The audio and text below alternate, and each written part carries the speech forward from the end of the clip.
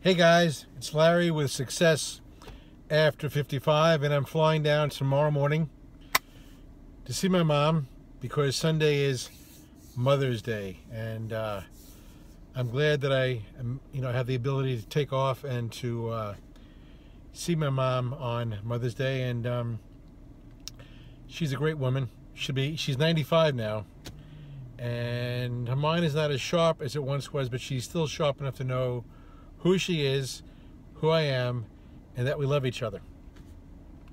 My dad passed away two years ago, and um, he was also a wonderful dad.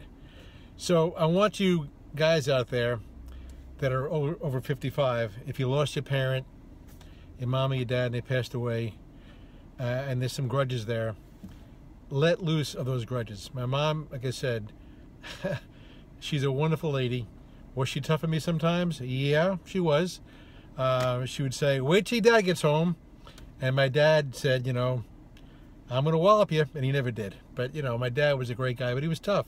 A tough guy, and he made sure that I, uh, I took responsibility for things. And as a kid, I didn't like doing that kind of stuff. and so I, uh, I love that he uh, taught me how to live a good life, how to have integrity, and to uh, have honor. And my mom, like I said, she's a wonderful woman. I just love her, and I tell her that every night on Skype. So I want to tell you an interesting story, and just in case you have a grudge uh, against your parents.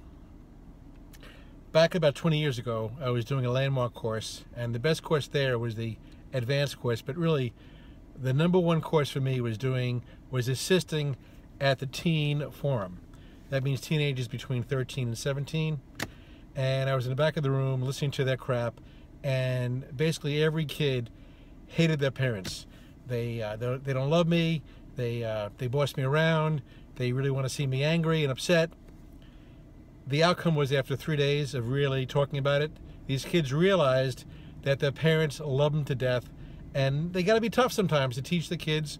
Someone's got to be the adult, and to teach the kids right from wrong. And a lot of these kids don't want to hear that kind of crap. They just want to do what they want to do. So at the end of the day, at the Tuesday night meeting when the parents came in, every kid was crying, hugging their parents, realizing that the parents really were looking out for them, their best interest. But when this started, when the weekend started, the kids hated their parents. And so the moral of the story is your parents are doing their best for you. There's a few exceptions here and there, but most parents, their number one goal in life is to have their kids be happy. So now, my 55 and year older friends, if you're still fighting with your parents, give it up. Love your mom, love your dad, wish your mom a happy Mother's Day, and have a great weekend, guys. Peace. I'm Larry with Success After 55.